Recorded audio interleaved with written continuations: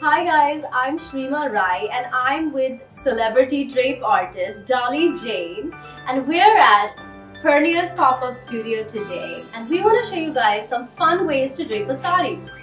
And this sari that we picked up from is from Varun Bahl and it's a beautiful sari and I'm going to show you how you can wear this sari with a beautiful blouse like a sleeveless blouse that he has and a black denim. I mean instead of using a petticoat you can use a denim uh, you know on this.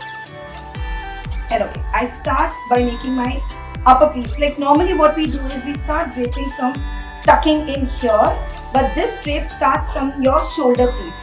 So this is how you make your shoulder pleats. So this okay?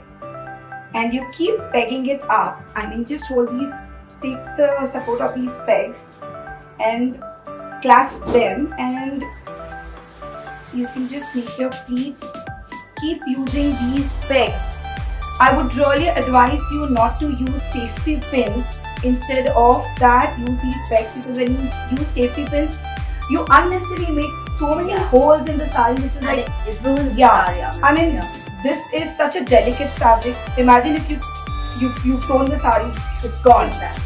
So yeah. So to just save time, I've just made pleats. So I'm just going to show you. After you've done the pleats, just rest this on your shoulders.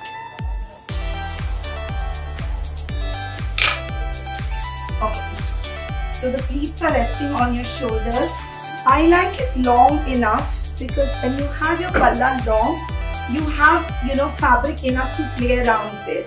If you think this is too long and you want to leave it without taking it in your arms or that something like that, what you can do is you can even keep it short. But at present, I'm keeping it long because I really want to show you some drama with this. Okay, after this, what you do is just take this and tuck this in here. So you have like a cowl, like a, you know, a cowl kind of thing here. Same thing you go in back and now instead of pleating it like this, I mean this way, like normally I've seen what you do is you pleat it this way.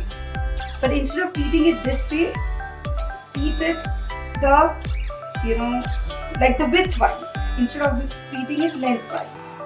So you just take this and you pleat it.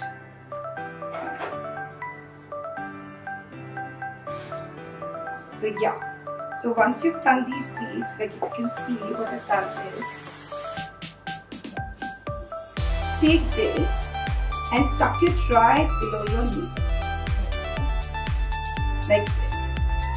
And then, and then you have to leave the same amount of cowl that you've left on the other side. This. You can see this cowl and this cowl has to be equal. Okay and now you turn around. So this, hold this. Okay. So this is the fabric which is left. Okay. Now what you do is fold them together and start making pleats together. So you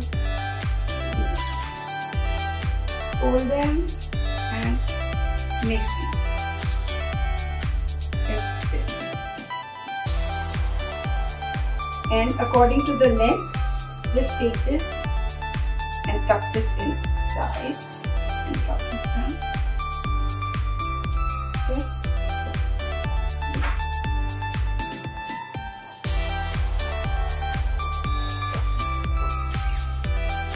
And yeah, your drape is done. Now to just enhance this, what you can do is you can use a waist belt. I mean, once you use a waist belt, looks really beautiful. And with this long palla, I mean, See, sometimes I really feel like trailing the whole sari, but if you don't wish to, what you can do is just take this and hold it in your arms. Like, you know, just hold it.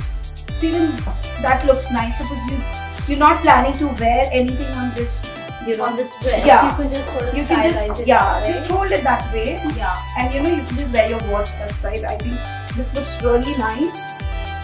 And if you think that, uh, you know, your back is too bare and you want to cover it, so you can just take this instead of this side, you can put the whole thing on this Yeah, okay, and then it covers the back. See, it just covers the back.